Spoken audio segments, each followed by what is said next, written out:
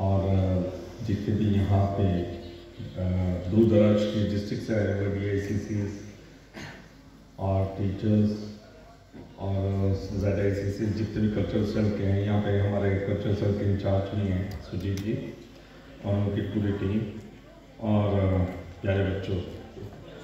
सबसे पहले मैं आपको बधाई देना चाहता हूँ कि आप इस स्तर पे पहुँचे हो।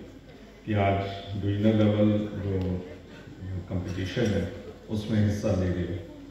बहुत से बच्चे होंगे जो यहाँ तक नहीं भी पहुँचे और कुछ बच्चे होंगे जो इससे आगे नहीं पहुँचेंगे।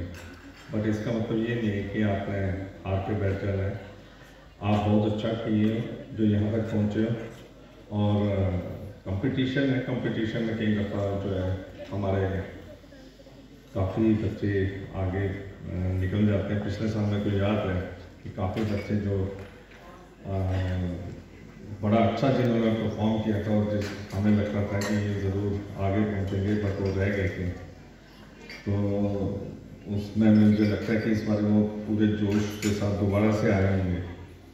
तो मेरे, मुझे पूरी उम्मीद है कि काफ़ी बच्चों ने इसमें मेहनत की है, जो मेहनत की है, उसको रन ज़रूर यहाँ दिखाई देगा और उनके साथ साथ जो हमारी पूरी कल्चरल की की है, उन्होंने भी बहुत मेहनत की है। मैं उनको भी बधाई देना चाहता हूँ कि उन्होंने पूरी मेहनत की और यहाँ तक पहुँचे।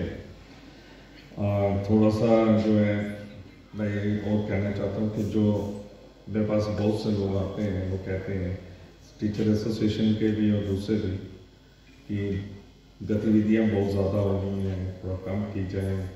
मेरा जवाब एक ही होता है कि इसको जो गतिविधियाँ हमारी इतनी ज़्यादा हैं, उसको करिकुलम के साथ इंटीग्रेट करें। अगर कहीं पे हमारे आजकल जैसे मैं एक छोटा सा एग्जांपल देता हूँ, थोड़े दिन पहले यहाँ पे सी की चेयरमैन आई थी और इंक्लूसिव एजुकेशन की बात हो रही थी। तो इंक्लूसिव एजुकेशन में मैंने थोड़ी देर पहले काउंसलिंग सेल से आर्ट थेरेपी पे काफ़ी अच्छा हमने एक इंटरनेशनल वर्कशॉप की थी, काफ़ी लंबी चौड़ी वो चली थी उसका भी यहाँ पे कल परसों समारोह होगा। तो वो भी यहाँ पे नहीं होगा वो ऑनलाइन होगा, क्योंकि उसमें इंटरनेशनल जो है, सलाहकार जुड़े हुए हैं।